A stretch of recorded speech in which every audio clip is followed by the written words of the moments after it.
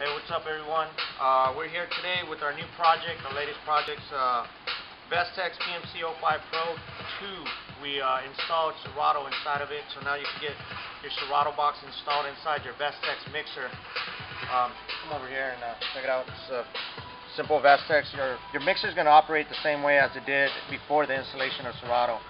Uh, and you, you know you're working with channel one and channel two. Since it's a two-channel mixer, we put the SL1 box inside there. Um, as you can see, this side is operating good. Look at the screen. That's me controlling that track right there.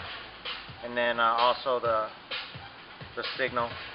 Um, and if you scroll around to the back, we'll show you how the um, how we did this. We got the USB port coming out, and then the matching uh, gold LED to, to match the gold plating of the of the Vestax. And you can see how clean the wiring is uh, without that Serato box, you know, and all those extra RCA cables.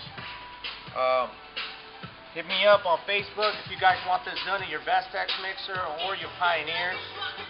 Um, it takes about two days to get this done. And um, yeah, like I said, just hit me up either on Facebook or on my website, djhenraycustoms.com. Peace.